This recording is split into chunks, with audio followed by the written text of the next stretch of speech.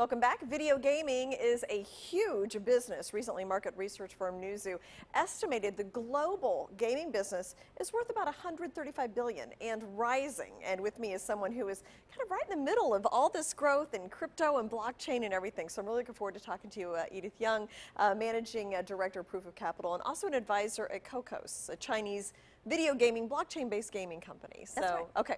So let's start with let's start with Cocos and then kind of take a broader view of how what all's going on in terms of crypto and blockchain. Tell me about Cocos. Uh, so Cocos is actually a, a brand new uh, blockchain develop, development platform uh, for game developers.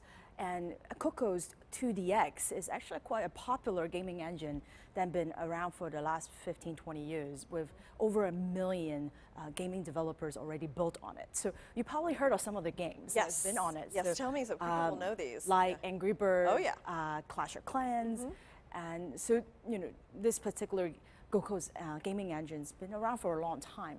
So now, like the, the brand new like Cocos BCX uh, gaming platform, the whole idea is sort of bring out the the best essence of blockchain, mm -hmm. but apply for game developers to help them to increase engagement mm -hmm. um, and also potentially increase uh, average revenue, like ARPU for mm -hmm. revenue. So, uh, how do you do this? let, us say if you are a game developer from Angry Bird, right? So you develop Angry Birds goes to Rio, and, and there could be another theme goes to Tokyo. And you know, if you're gamers and you buy a lot of virtual goods and tokens and uh, go to Rio, you after three to six months, you're sort of tired of this particular game whatever that you own in the token, you can't really reuse, you reuse it anywhere else.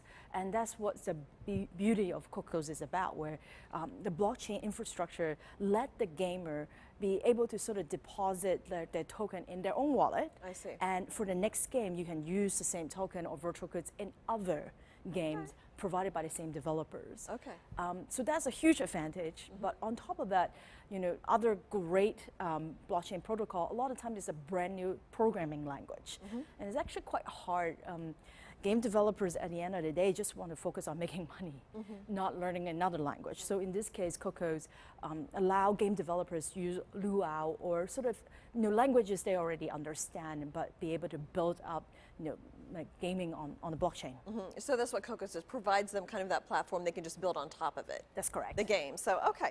And how do you see the future of gaming? I, I have a, a, 10 and an 11 year old. So mm -hmm. I know this is, is huge. Uh, they're doing Minecraft and Roblox and Fortnite. And I know this is something that they all grow up with, they all enjoy. Yep.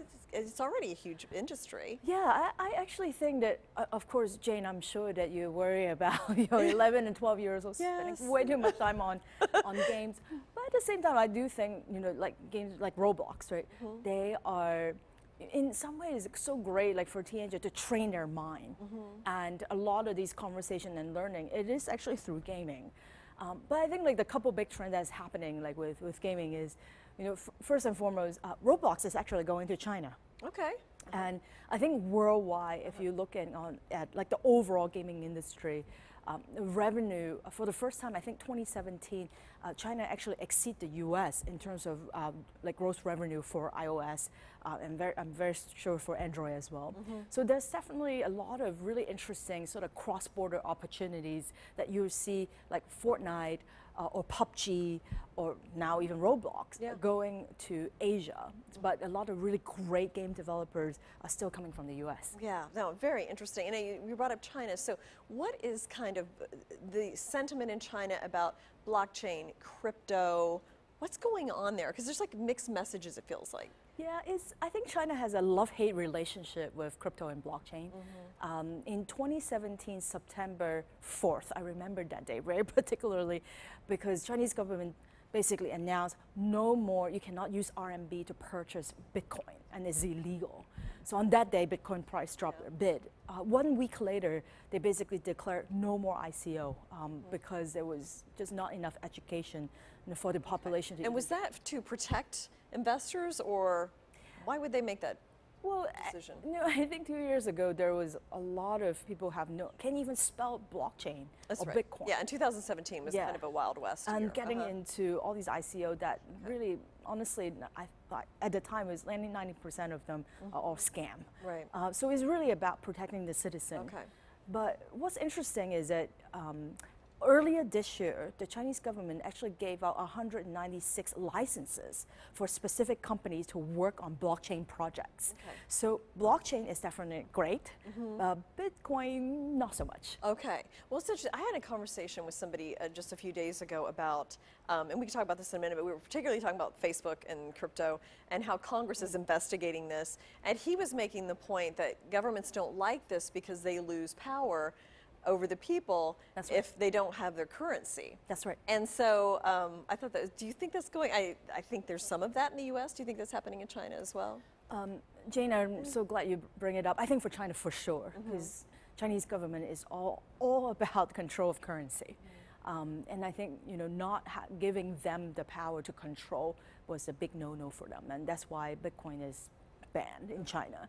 Thank you so much, Edith. Fascinating topic. So thank you for coming in. And thank you as well for joining us. We'll be right back.